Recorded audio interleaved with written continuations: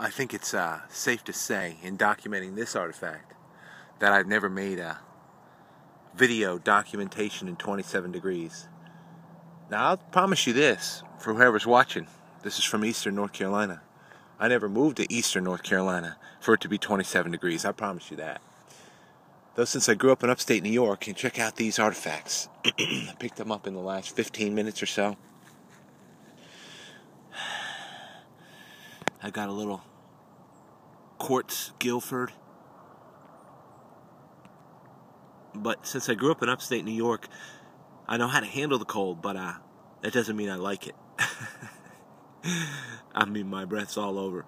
Now, I found another that I'm going to check out here that looks like it's going to be a smoker, and I had to slow down because uh, I was. When you start tracing this kind of stuff right here, these Guilford points, then uh, you know a lot of other things might be up. A couple full points there, which is nice, just to give you a look at this stuff.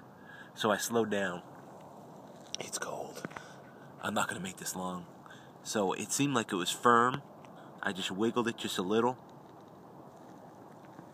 And uh, of course, at least if it's for me, I love that kind of base, the notch base.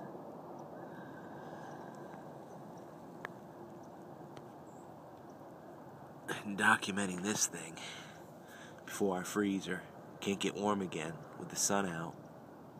Ah, looks like the tip is there. Let me clean this off if I can. It's freezing. That's obvious. I don't need to say that again. it's cold. This is this is nuts, but uh, it's well worthwhile already because this right here is uh, what I would call a, a great artifact. Just love it.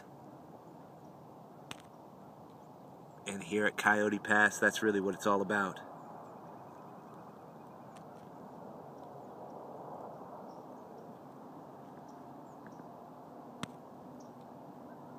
Thanks for tuning in, everybody. Hope you find out there.